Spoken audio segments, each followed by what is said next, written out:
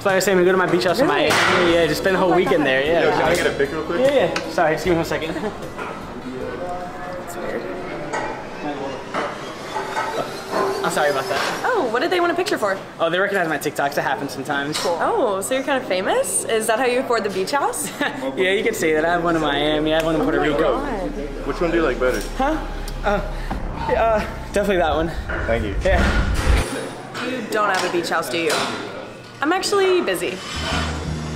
I have a cabin in Kentucky.